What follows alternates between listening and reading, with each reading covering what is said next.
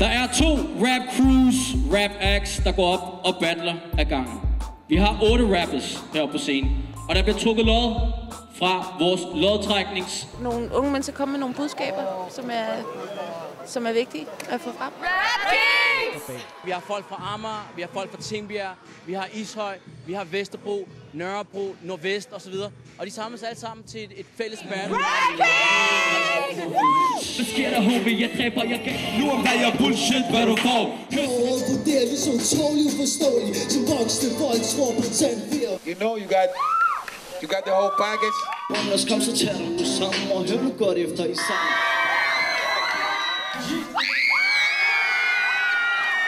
skal chille med min niggas i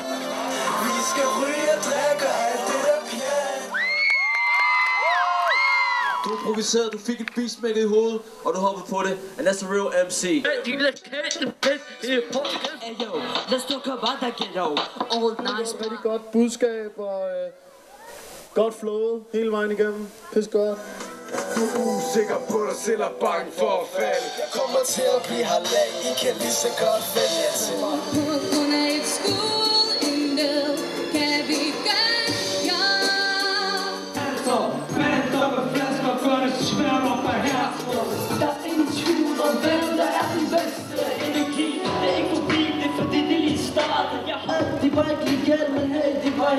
normalt Eller ender så finder sig Min anden homeboys.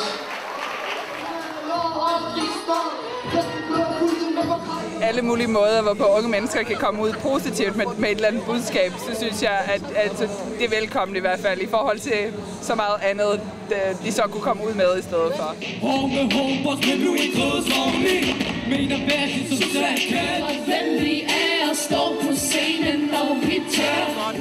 Det, det har været rigtig stort, og rigtig stort fremmøde. Rigtig mange mennesker. Oh my god. Vi har som sagt hele KBH omegn indover, og, og det er bare fedt at se, at alle folk kommer og, og viser noget love. Synes du, du er nogle, du er nogle gode talenter, vi har fået fundet frem?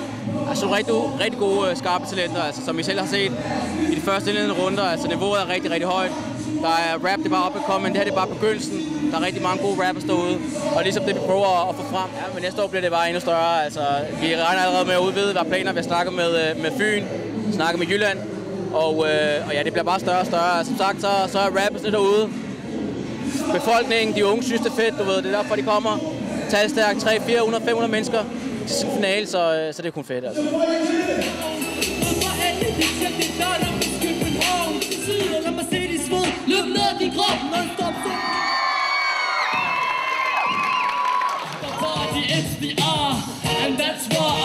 I been blind.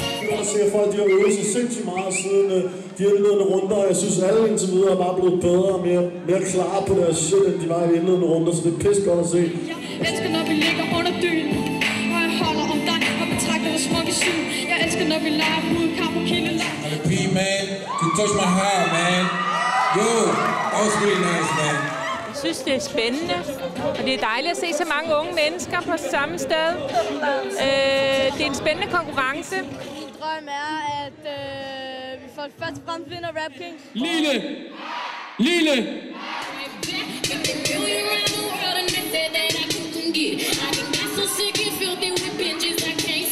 rapper havde totalt godt flow. Synes jeg virkelig var det bedste, jeg har hørt i rigtig lang tid. Og man skal øve sig for at blive god til at rap. Det er fandme den eneste måde, man bliver god til det. Rap Kings Part 2 2009.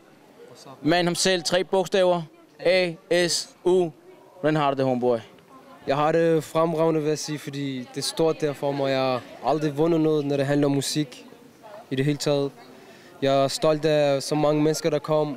Det respekt, de gav til alle, og jeg har aldrig set så mange indvandrere på et sted, vil jeg sige. Så det, er, det er cool.